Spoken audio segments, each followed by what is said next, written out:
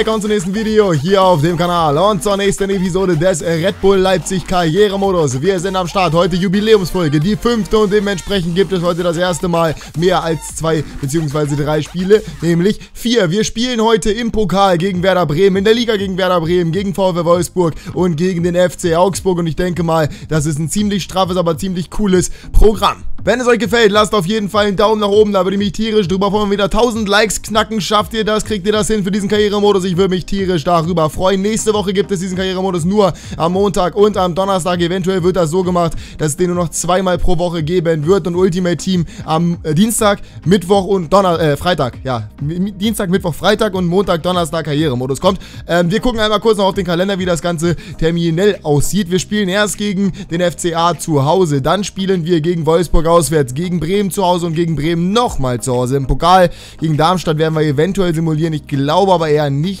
Ich glaube, das verschieben wir auf die nächste Episode, in der es dann gegen Leverkusen, gegen Mainz und im Pokal, denke ich mal, weitergeht. Ich bin gespannt. Aber jetzt erstmal gucken wir uns nochmal unsere Jugendmannschaft an. Und als erste Amtshandlung heute verpflichten wir Michele Esposito in unseren Fall, beziehungsweise, ja, holen ihn hoch in unsere Profimannschaft. Das junge Talent aus unserer Jugend hat 64 momentan, hat dazu 94 Antritt, 94 Sprintgeschwindigkeit, 93 Beweglichkeit, 86 Ballkontrolle, Flanken, 85 Schusskraft und 94 Fernschüsse. Ich bin gespannt, was mit dem noch werden wird. Wird er der neue, schnelle Andrea Pirlo? Wir werden sehen. Wir gucken erstmal ganz kurz noch auf den Bericht der Jugendmannschaft und auf äh, für das Nationalteam abgestellte Spieler. Das sind einige, insgesamt sechs Stück, aber das ist in Ordnung, weil die, ja, affektieren ja jetzt noch nicht unser Spiel. Sayak ist 1559, das ist sehr, sehr ordentlich, genauso wie Hannes Schulze. Baran sieht nicht so stark aus, den lassen wir mal gehen, den jungen Kaczmarek.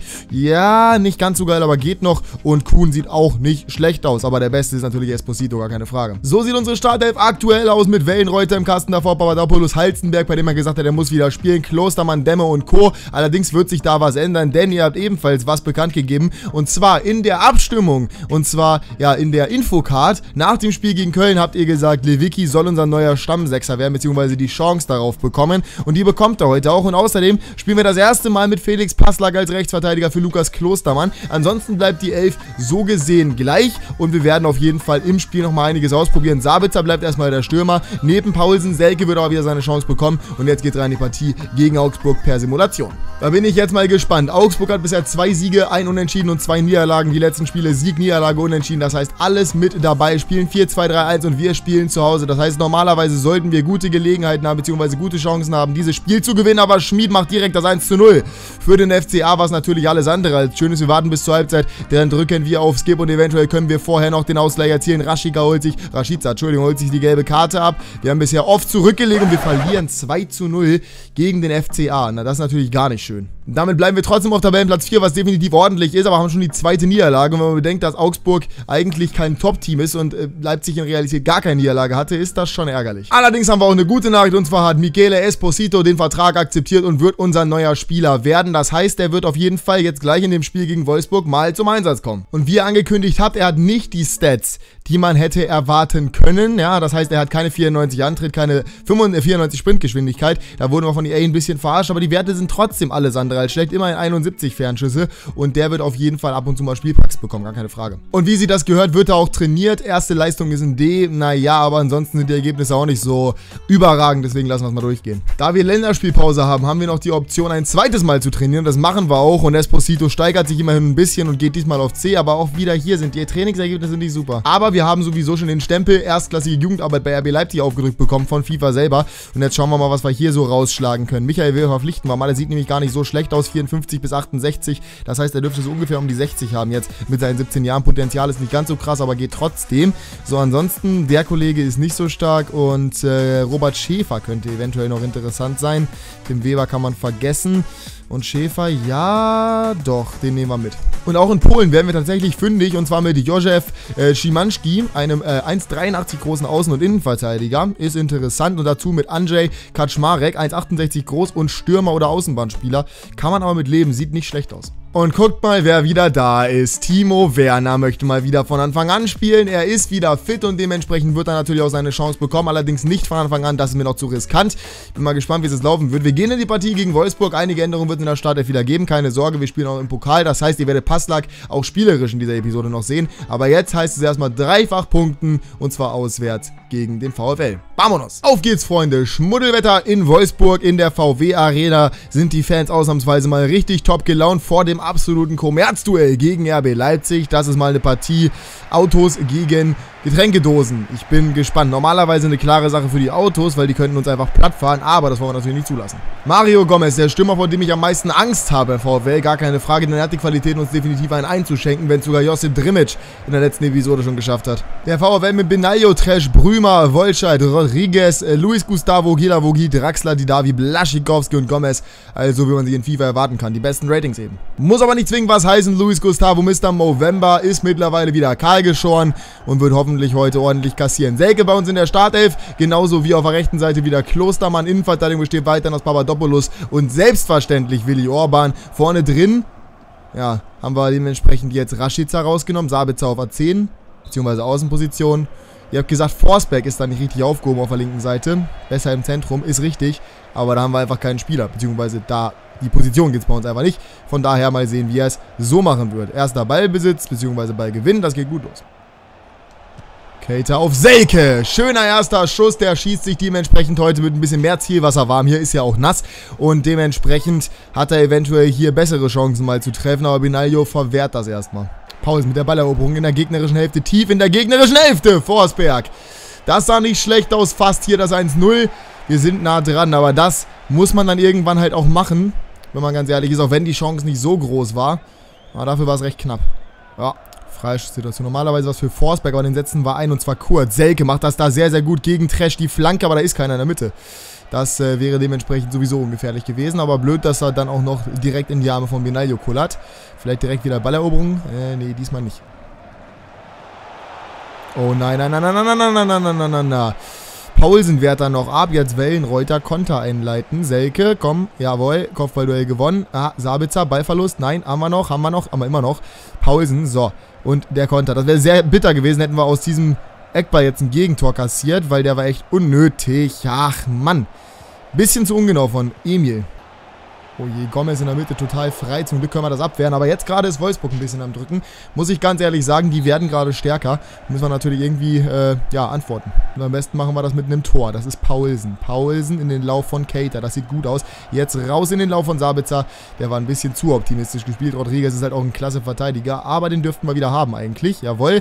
Äh, Paulsen steht da. Hat ein bisschen, ja, Bedrängnis. Allerdings macht er das da sehr, sehr gut. Dreht sich zurück, jetzt auf Halstenberg, der mal wieder mit aufgerückt ist. Da ist Selke, der mit der Hacke auf Sabitzer. Ja, das war ein bisschen Zufallspiel, beziehungsweise zu wenig Druck dahinter. Aber Wolfsburg wird jetzt wieder nervös.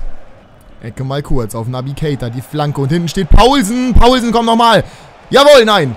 Benaglio kann es verhindern. Nochmal Sabitzer, hält den Ball irgendwie im Spiel immer hin, kein Abstoß. Ah, das wäre es natürlich jetzt gewesen. Einfach aus spitzen Winkel da das Tor gemacht. So bleibt es weiter interessant mit einem 0 zu 0. Forsberg, komm, raus auf Halstenberg, der wieder sehr aktiv ist in der Offensive, sich gut einbringt. Das ist Paulsen. Schöner Roulette zu Halstenberg. Der kann sich durchsetzen in der Mitte zurück zu Paulsen. Ah. Wolfsburg schwimmt richtig. Halbzeit in der VW-Arena. Es geht noch mehr und wir schaffen das im zweiten Durchgang. Bin mir sicher, auf geht's. Wir bringen mal Timo Werner auf Außen rein und Sabitzer geht dafür vom Platz. Mein Lieblingsspieler für den Schwalbenkönig. Mal sehen, wie das läuft. Davi, Mann, das ist so schlecht verteidigt. Aber ich verstehe auch nicht, warum da keiner steht. Das ist übrigens das unrealistische Gesicht, was man da, die Davi hätte geben können. Ah, Gomez mit dem Ball in der Mitte und irgendwie rücken sie alle raus. Der Schuss ist klasse, so. Scheiße. Aber wir können mit Rückständen umgehen. Das haben wir bereits bewiesen gegen Top-Teams wie gegen Gladbach Werner. Das war nicht gut. Schöner Ball von Paulsen auf Timo Werner. Werner im 16er lässt sich da nicht fallen. Paulsen, Ausgleichstreffer. Jawohl, der trifft momentan, wie er will. Siebtes Spiel und das fünfte Tor für Yusuf Paulsen in der Bundesliga. Ganz stark gemacht von Werner, der da parallel zur Torauslinie läuft und dann in die Mitte gibt. Paulsen aus der Drehung direkt Benaglio chancenlos. Wir sind wieder da. Hier Vicky, von dem wir bisher noch nicht viel gesehen haben, aber hat hier auch keine Anspielstation. Holt sich den Ball Gott sei Dank direkt nach dem Verlust wieder. Cater, Paulsen, Forsberg, Selke. Ne, das war Werner, Entschuldigung. Und Ballverlust gegen Gilavogi. Die stehen hinten jetzt wieder gut. Gerade eben standen sie einmal kurz unsicher. Das hat sich direkt bezahlt gemacht für uns. Das heißt, wir müssen die zwingen, wieder unsicher zu stehen. Oh, schöne Balleroberung fast von Lewitzi. Der bleibt da aber dran. Holt sich den Ball. Ah, aber da steht da keiner. Trotzdem sehr guter Einsatz auf jeden Fall. Auch wenn er ein bisschen kaputt ist schon. Und demnächst ausgewechselt wird. So, Rashica wird geschickt und der ist schnell. Geht in die Mitte vorbei an Rodriguez. Jetzt in den Lauf von Yusuf. Pausen, Pausen, Pausen, Pausen! 2-1, 79. Das gibt's doch nicht. Der Junge ist so eiskalt. Rashica mit der Vorlage. Und so schnell kann das gehen. Schön direkt gespielt. Und hier der Laufweg, der ist genial. Vorbei und dann steht da hinten, ich glaube Gustavo ist es. Nee, Brüder, ich habe keine Ahnung. Hebt auf jeden Fall das Abseits auf. Und dementsprechend steht's 2 zu 1, weil Belialio es nicht verhindern kann. Geil. Herrlich. Kaiser eingewechselt für Lewicki. Rashica. Ah, schade. Da wäre jetzt direkt mal das 3-1 gewesen. Aber jetzt nochmal Wolfsburg mit der Kontergelegenheit. Schön Papadopoulos abgelaufen. Oh Gottes Willen, was war das denn? Nein, nein, nein, nein, Wellenreuter, steh auf. Oh, oh, oh, oh, Gott sei Dank. Das, oh nee, immer noch nicht geklärt. Was ist denn hier los? Jetzt aber. Immer, oh Gott. Komplette Verteidigung hier und jetzt ist Wellenreuter da. Und jetzt haben wir die Konterchance und da sehe ich schon einen. Ich weiß nur nicht, wer das ist. Das ist Werner. Der Ball kommt nicht zu Werner. Jetzt kommt der Ball zu Werner. Und der ist doch normalerweise schneller als Wolscheid. Den hat er sich ein bisschen zu blöd vorgelegt. Oh nein, letzte Chance für Wolfsburg. Ausgleich. Ausgleich. Vierinja oder wer? Ja, Vierinja. Ah, verdaddelt am 16er. Verdaddelt am 16er. Keine Ballkontrolle. Und Vierinja mit der zweiten dicken Chance, mit dem zweiten wuchtigen Schuss nutzt das aus. Wie bitter. Halstenberg kriegt ihn hier nicht richtig raus. Klostermann. Und der Portugiese. Scheiße. Ich sage mal so, mit einem Punkt in Wolfsburg können wir definitiv zufrieden sein. Allerdings war mehr drin. Ähm, wir sind zurückgekommen wieder mal nach 0 zu 1, aber diesmal haben wir dummerweise noch das zweite kassiert. Und das darf normalerweise nicht passieren. Naja, wir dürften weiter trotzdem oben stehen. Und das ist immerhin schon mal ordentlich für einen Aufsteiger. Zurück in der Zentrale, würde ich mal sagen.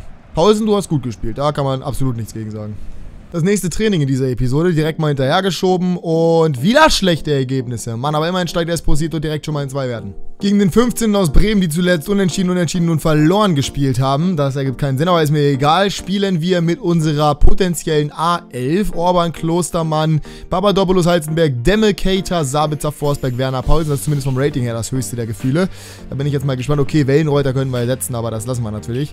4-4-2 spielt Bremen. Wir haben zuletzt in der Simulation verloren gegen Augsburg zu Hause. Ich hoffe, das wird sich jetzt nicht wiederholen. Kruse per Elfmeter. Das kann doch nicht wahr sein, dass wir jetzt hier das zweite Spiel in Folge in der Simulation zu Hause verlieren. Normalerweise sollten wir zu Hause stark sein. Das ist vielleicht, weil wir auf Legende spielen, weil unsere Ratings nicht so hoch sind und vor allem, weil der Computer nicht weiß, dass wir so stark sind. Immerhin ein Punkt, immerhin 1 zu 1. Paulsen, ja, holt mal wieder den Punkt, selbstverständlich.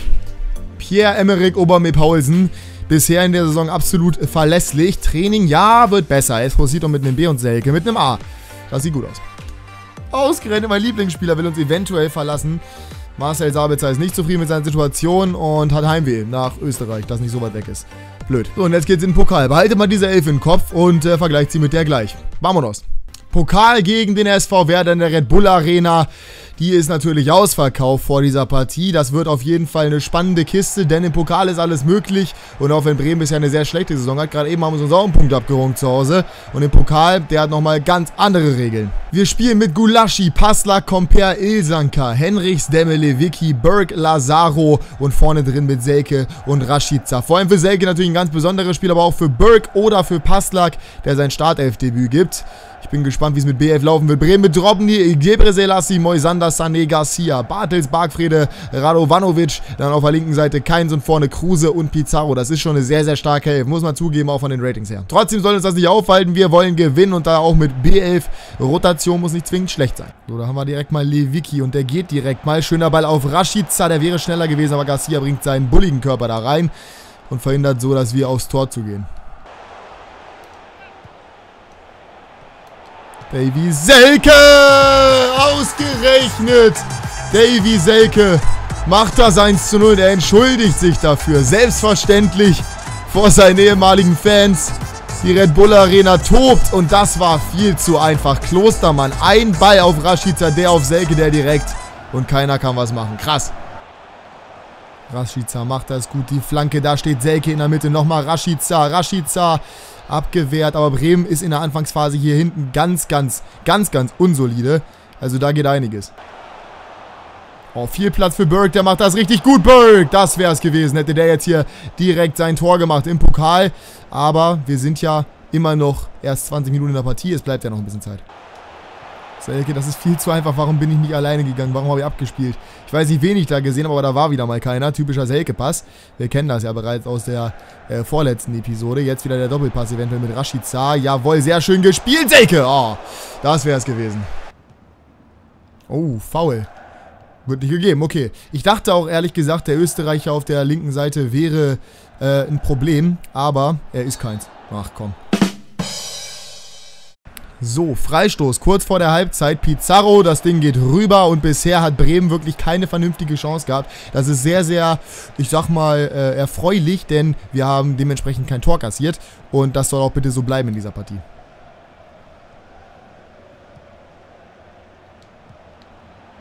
Surprise, Motherfucker. So viel dazu. Wir haben es uns selber vorgelegt und äh, das hat genau 20 Sekunden in Realität gedauert, bis Finn Bartels das Tor macht. Und an wem lag es in der Situation? An diesem Ballgewinn von Marvin Comper. Nee, wer war es denn? Ich weiß es ehrlich gesagt gerade nicht. Ist dunkel, Leute. Lazaro? Nee. Henrichs. Ah, hm.